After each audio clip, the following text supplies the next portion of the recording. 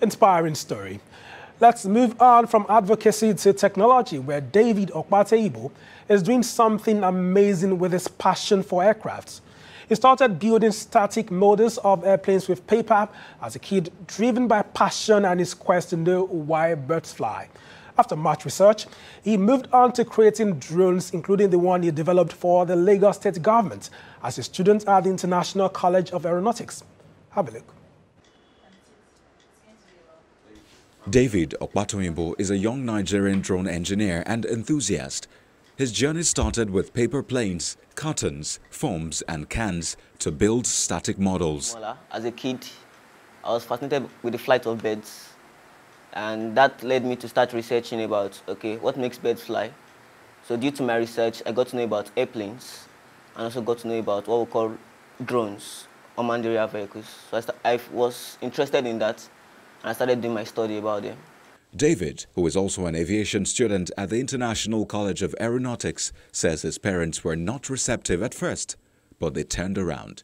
Well, at first it was strange, it was alien, but along the line they got used to me building stuff together and they were very, very supportive.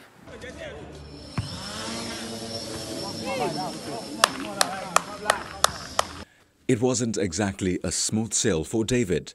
What were the hiccups he encountered? Well, one of the very first challenges finance. Uh, many of these drone components are expensive, and because they are not sourced locally, the conversion rates of the currency and many other stuff pose a very, very big challenge in getting all those parts. While controlling a drone is relatively safe, it does have little hazards. One of the things is those blades spin at a very, very fast RPM, revolution per minute and getting in contact with those rotating parts can cause a lot of damage. Aside from that, the batteries used by these drones are actually very, very volatile.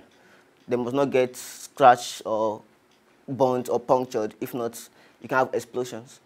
The drone engineer hopes that more can be done to make the journey easy for innovators and also boost the space. I'm appealing to the government to recognize the innovators, the indigenous innovators, individuals and organizations and provide waivers for them so that they will have access to get all these components needed for their research and product development for, of drone technology.